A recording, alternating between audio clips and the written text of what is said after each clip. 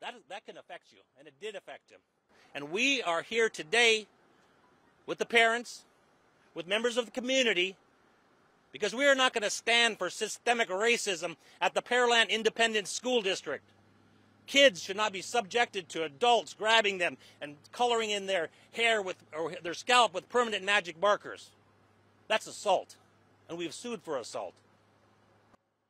And the Pearland Independent School District I was mad. I was I, I, I was I was really mad, and um, cause it's like, like I say, I, I just imagine three people hold my son's head down with a marker, you know, against his will, like, and I'm not there to I was I, I wasn't there to help him. Like I always been there since he been since we been born. Like nothing happened to my baby, you know, and like now it's like I gotta live with the fact that my son's head was like this, you know, and somebody was drawing with a with a marker. And let's keep in mind he had just got his haircut the day before, so his scalp was wide open.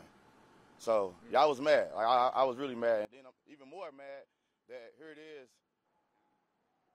I was really upset because, like I said, I wasn't informed.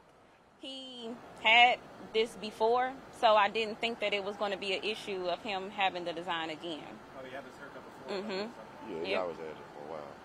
So, how do you feel about your son's safety at this school? at this point? Honestly, I'm I'm scared. Not I wouldn't say scared, but I know that he don't like the attention, and I know that he's uncomfortable. Mm-hmm. Th- So that is more so. I don't want him going through. This is going to be. He's going to remember this for the rest of his life, and it's his eighth grade year. I don't want him, you know.